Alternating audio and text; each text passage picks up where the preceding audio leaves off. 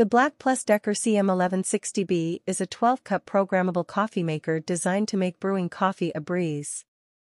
With its user-friendly features, this coffee maker allows you to program the brewing time up to 24 hours in advance and choose the strength of your coffee.